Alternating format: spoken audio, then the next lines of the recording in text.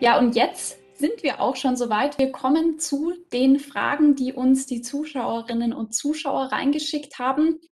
An alle jetzt zu Hause, wenn Sie jetzt sagen, oh, ich bin ja noch gar nicht dazugekommen. Sie haben auch jetzt weiter die Gelegenheit, während wir die ersten Fragen schon einmal aufgreifen, können Sie auch gerne noch weiter Ihre Fragen schicken über die Kommentare bei Facebook oder YouTube oder auch per E-Mail. Und dann starten wir, würde ich sagen, gleich mal mit der ersten Frage. Die geht an den Herrn Gotthard von Gabriele Renault. Ich hoffe sehr, ich habe den Namen richtig ausgesprochen. Und ähm, die Dame spricht nochmal ein Thema an, über das wir eben schon gesprochen haben. Sie fragt, was bringen mehr Sitze für die Regionen in der heute gestarteten Konferenz zur Zukunft der EU? Können Sie das nochmal erklären?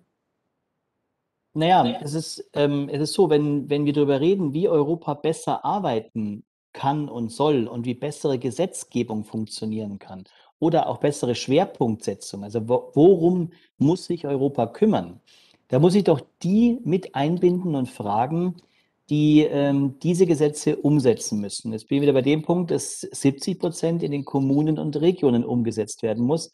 Also der Bürgermeister wenn ich mal diesen, diesen extremen äh, Vergleich mache, der Bürgermeister weiß in, im Zweifelsfall besser als der Brüsseler Beamte, wie europäische Gesetze wirken.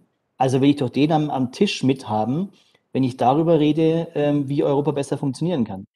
Der, der EU-Beamte wird immer sagen, läuft doch eigentlich ganz rund. Aber der Bürgermeister weiß, wo es nicht rund läuft. Wunderbar. Dann hoffen wir, dass die Frage von der Frau Renaud damit beantwortet ist. Wir machen weiter mit unserer zweiten Frage an Herrn Dr. Huber. Rainer Gederer möchte wissen, die Schotten haben am Donnerstag gewählt. Wie sehen Sie die Chancen für die Rückkehr in die EU? Sehr spannende Frage. Ja, äh, da kann man natürlich äh, äh, ganz lange äh, äh, drüber, äh, drüber sprechen. Äh, Tatsache für mich, und äh, so möchte ich das äh, generell beantworten, jeder, der sich aus der EU entfernt, und da denke ich natürlich auch an den, vor allem an den Brexit, ist für dieses gemeinsame Projekt aus meiner Sicht ganz, ganz schade. Ähm, realistisch, bin jetzt da nicht der außenpolitische Experte, würde ich meinen oder, oder befürchten, dass es nicht so schnell möglich sein wird. Aber da würde mich die Einschätzung vom Tobias, der da vielleicht noch ein bisschen mehr äh, dran ist, interessieren. Gerne. Ja, wenn ich darf. Ähm, wir hatten ja vor einigen Wochen im Europaausschuss äh, meine schottische äh, Europaausschussvorsitzenden Kollegin zugeschalten. Und äh, es war eine sehr spannende Debatte und wir haben daraufhin auch als, äh, als Freie Wähler Landtagsfraktion einen äh, Antrag äh, gemacht zu den bayerisch-schottischen Beziehungen im Lichte oder im Schatten ähm, des Brexits. Ähm, mein Eindruck, ganz ehrlich, ist nach dem Erfolg, den äh, die SNP äh, und Sturgeon eingefahren haben bei den Wahlen, also fast eine absolute Mehrheit, aber eine klare, deutliche Mehrheit, auch zusammen mit den Grünen meines Wissens, ähm, die sehr proeuropäisch ausgerichtet sind. Ich gehe davon aus, dass auf jeden Fall ähm, der Wunsch oder dem Wunsch der schottischen Bevölkerung ein zweites Referendum ähm, durchzuführen oder ja, ein, ein nochmaliges Referendum, ähm, dass dem vermute ich mal äh, durch steigenden politischen Druck bis 2023 äh, entsprochen werden muss. Und wenn dann entschieden wird, dass die, äh, die Schotten äh, zurück wollen in die äh, EU, dann finde ich, sollte äh, diesem Land, dieser, also jetzt noch Region, aber dann diesem Land wirklich jede Türe offen stehen, denn einen, ein Volk auszusperren aus Europa, obwohl sie es nicht wollen, ist eigentlich widersinnig. Ich finde das bei der Thematik auch wahnsinnig spannend, wie anders man jetzt dieses eventuelle neue Referendum äh, der Schotten sieht im Vergleich zu dem vergangenen, das man ja eher mit mit Vorsicht, mit, mit äh, wenig Angst, mit Sorge betrachtet hat. Und jetzt, wenn man denkt, die Schotten könnten möglicherweise wieder zurück in die EU kommen, ist es ja doch eher was, was man positiv sehen würde. Hm. Damit kommen wir jetzt zu unserer nächsten Frage. Ein User mit dem Namen Lupo möchte von Herrn Beck wissen, die EU steht vor vielen großen Projekten. Wieso bekomme ich das Gefühl, dass hier nichts vorangeht? Das ist eine schwierige Frage. Ähm, ich denke, naja, das ist eine Frage der Perspektive. Äh, ich äh, sitze einfach in Brünn, in, in, in Mähren und vor 20 Jahren gab es in der Stadt nur ein paar provinzielle Universitäten und die Stadt war eigentlich eine ein bisschen schmutzige sozialistische Industriestadt. Und heute ist es ein Zentrum von IT-Technologien und eine Stadt, in der die Universitäten ganz gut im internationalen Wettbewerb funktionieren. Eine Stadt, wo viele Ausländer jetzt auch leben, was früher nicht der Fall war. Und von dieser Perspektive passiert vieles für mich in, in Europa. Also es ist wirklich eine Frage, wo man eigentlich ist und von welcher Stelle man es ansieht. Ich bin überzeugt, dass es Orte gibt, wo es nicht so schön aussieht wie aus Brünn. Das ist völlig klar. Und man muss daran arbeiten, dass auch in anderen Gebieten die Lage sich schnell verbessert, weil die Ungleichheiten in Europa sind ziemlich groß. Ich glaube, da ging es jetzt bei der Frage auch darum, um, um diese Sichtbarkeit für den einzelnen Bürger, dass manchmal vielleicht nicht ganz transparent ist, was ist aktuell überhaupt in Brüssel in Arbeit. Ähm, daran schließt sich, glaube ich, auch unsere nächste Frage an, auch wieder an Sie, Herr Beck. Thomas Jüttner möchte wissen, wieso wirkt Brüssel manchmal, als wäre es ein träges Bürokratiemonster? Naja, alle moderne Staaten sind schreckliche Bürokratien eigentlich. Es geht einfach nicht anders. Ich erinnere mich noch immer auf meine studentische Lektüre von Max Weber und die Theorie der Bürokratie. Es ist unsere Verteidigung gegen die Mächtigen. Es ist seltsam, aber es ist so. Eigentlich die Bürokratie ist Verteidigung gegen die Usurpation von, von, von der Macht. Es ist eine komplizierte Prozedur. Ich kenne es auch sehr gut von meiner Universität her. Das ist eine riesige bürokratische Organisation mit vielen internen Vorschriften und Regeln und Abstimmungen über Verschiedenes. Also man muss immer damit irgendwie menschlich umgehen. Man muss es versuchen, aber ohne Bürokratien geht es auch nicht. Weil die Alternative ist ganz schrecklich. Das ist eine Diktatur ohne Bürokratie. Das wäre wahrscheinlich das Schlimmste. Also das ist keine Verteidigung von, von bürokratischen Prozeduren. Aber man muss wissen, dass einfach ohne Bürokratie in dem neutralen Sinn geht es einfach nicht.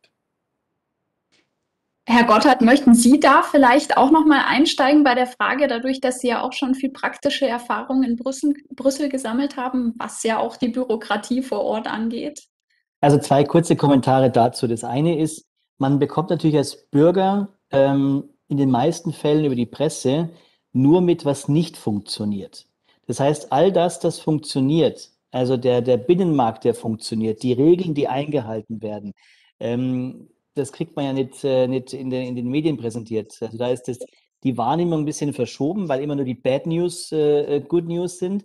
Ähm, und das Zweite, was die Beamtenschaft in Brüssel betrifft, also ich kenne auch, äh, ich war ja lange genug da, da gibt es auch schwarze Schafe, aber äh, grundsätzlich ist die, der, die, das Beamtenstatut auf der europäischen Ebene eines der modernsten äh, in, in ganz Europa, unter anderem mit, mit, äh, mit Leistungspunkten. Ja? Also wenn, wenn da keine, das ist fast wie in der, in der freien Wirtschaft, wenn Leistung nicht erbracht wird, äh, äh, gibt es keine, keine Aufstiegsmöglichkeiten. Und ähm, ich glaube, was, äh, was den, den Beamten in Brüssel, ähm, so viele ich jetzt kenne, ja, nicht fehlt, ist äh, Intelligenz, auch nicht Arbeitsdrang, sondern was manchmal fehlt, ähm, ist diese Erdung. Und das, glaube ich, ist das, was, was, äh, was sich einfach ändern müsste.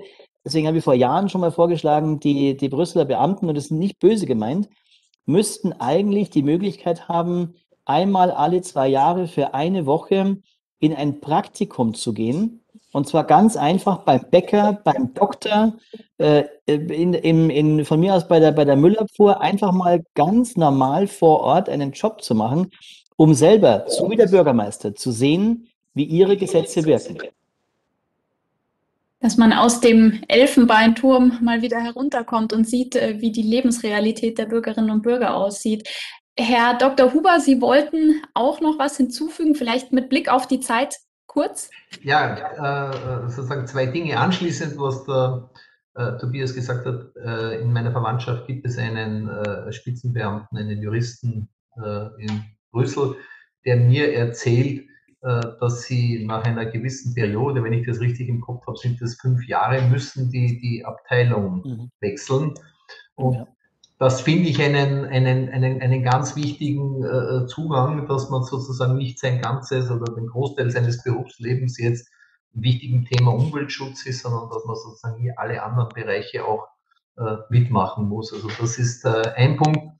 Und äh, der zweite Punkt, den ich äh, auch gerne, weil wir ja diese Frage auch immer wieder bei uns gestellt bekommen, äh, mitgebe, ist, dass zum Beispiel die Stadt Wien ja, mehr Bürokratie, mehr Beamte in der Verwaltung hat als die ganze EU für Europa. Und das zeigt mir doch, äh, dass das von den Mitarbeitern, zumindest äh, in der EU, dass es doch schlank aufgestellt ist und äh, dass man am Ende des Tages äh, sozusagen dieses Monster ein bisschen, auch was die Mitarbeiteranzahl betrifft, relativieren kann.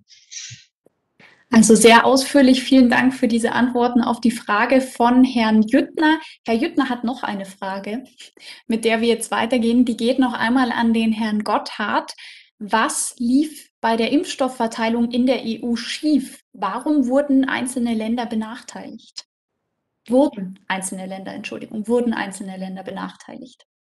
Naja, gut, ich glaube äh, nicht, dass sie, dass sie benachteiligt wurden. Man hat, man hat abgefragt, ähm, wie der Bedarf ist. Hat eine Sammelbestellung aufgegeben für Impfstoffe. So war der, der Ursprungsansatz. Und äh, manche Länder haben mehr bestellt, manche, manche weniger. Man hat dann, äh, die einen haben da mehr bestellt, also von dem einen Vakzin, die andere von, von, von dem anderen. Und dann wurden eben unterschiedlich schnell die Vakzine freigegeben und geliefert. Und dadurch hat sich eine, eine, eine scheinbare Verzerrung ergeben.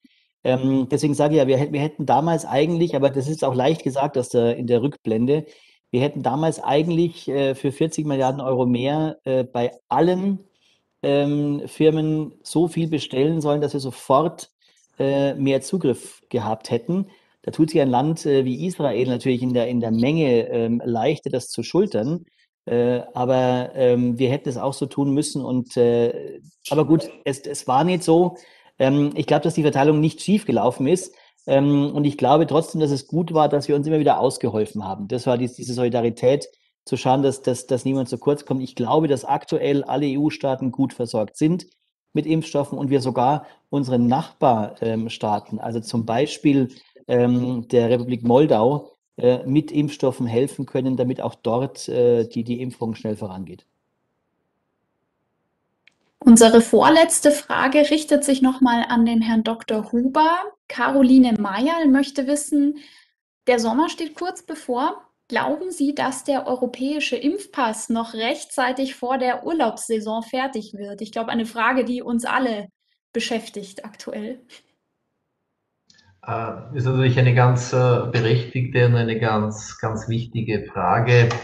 Äh, wir müssen darauf drängen, dass wenn wir reisen und die Reisefreiheit, das ist für mich auch ein, ein Grundrecht letztendlich. Also wenn ich mir an mich denke, die letzten eineinhalb Jahre war ich nicht im Ausland. Ja, das ist also eine äh, eine lange Zeit, wenn ich mir das überlege, müssen hier diese Mechanismen auch äh, in Kraft äh, treten, dass es einen gemeinsamen Pass geben wird. In Österreich ist es so, oder auch in meiner Ordination, jeder, der äh, geimpft wird, äh, bekommt das eingetragen in einen elektronischen Impfpass, als auch, wenn er einen mit hat, in den europäischen Impfpass, beziehungsweise kriegt er auch eine Bestätigung ausgedrückt, die er dann auch entsprechend äh, vorweisen kann. Wünschenswert wäre aber auch hier ein gemeinsames Vorgehen. Damit kommen wir zu unserer letzten Frage an den Herrn Gotthard noch einmal.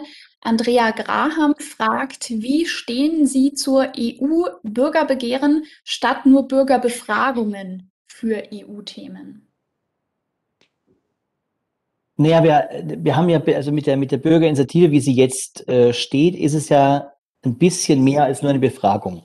Ähm, wenn ein Bürger, eine Bürgerinitiative erfolgreich ist, das heißt äh, mindestens eine Million äh, Stimmen in mindestens sieben Mitgliedstaaten, ähm, dann haben wir dann hat die EU-Kommission zumindest die Pflicht, sich damit zu beschäftigen.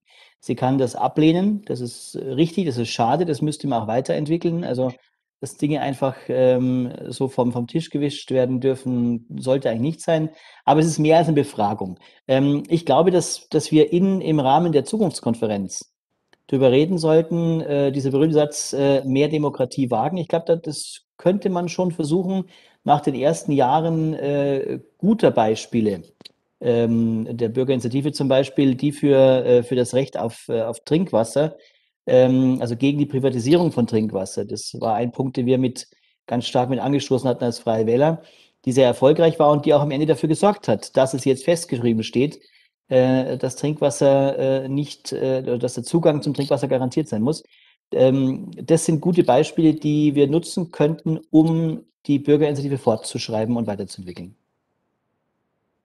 Herr Beck, möchten Sie noch ergänzen Ihre Meinung zu diesem Thema EU-Bürgerbegehren versus Bürgerbefragungen? Ich stimme mit Tobias, also ich habe nichts mehr zu sagen. Wir sind einer Meinung. Das ist doch schön, wenn wir eine harmonische Runde haben hier. Ja, vielen Dank an alle Zuschauerinnen und Zuschauer, die sehr interessante Fragen eingeschickt haben. Mit Blick auf die Zeit schließen wir die Fragerunde jetzt erst einmal, aber es wird selbstverständlich noch weitere Ausgaben von Blickpunkt Bayern geben, bei der Sie dann wieder die Möglichkeit haben, sich einzubringen.